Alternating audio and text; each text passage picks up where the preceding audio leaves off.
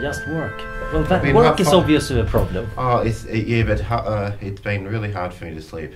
Mm. I even took a sleeping pill, pill yesterday because Mm. the day before yesterday I didn't get to sleep very well, Mm. and then the day before day before yesterday I only got like um, four hours sleep. Ah, even yeah. though I went to bed and Mm. got you know allowed myself eight hours, tossing and turning, had a bit of a fever I think, Mm. Um, and then Yeah, yeah, sleep is quite important. I, I've been wor- working on uh, one or two papers about the ethics of sleep enhancement, and uh, generally we know that uh, sleep is good for you, uh, but we don't have any drugs that make sleep better. We have ways of making people go to sleep, and we have ways of preventing people from going to sleep. But that's not necessarily the best solution. The best one would, of course, be guaranteed eight hours of good sleep. We have no clue on how to achieve that. Mm. I know um, there's melatonin pills that can be taken. Have you have you tried that? Mm. Yeah, so that's useful because you can reset your diurnal rhythm. So typically jet lag is nasty because your brain kind of is out of sync. So it's sending signals to the rest of the body on what it's supposed to do that doesn't fit with your activity. So everything goes a bit haywire. And it adapts after a while. Melatonin is kind of good because you can send a reset signal. Right now it's uh, just after midnight.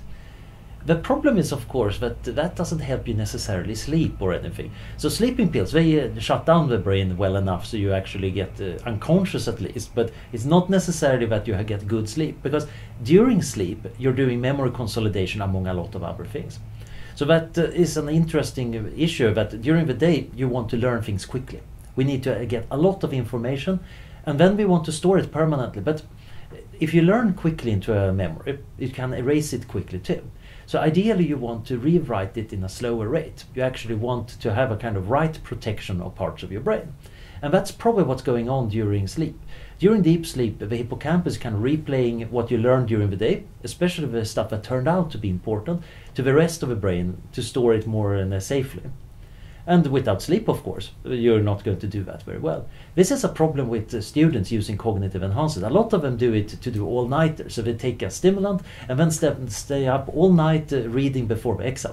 Which means that at least they stayed up, but we're not learning very much because we didn't consolidate it. So when we're finally sitting in the exam room, we won't remember very much.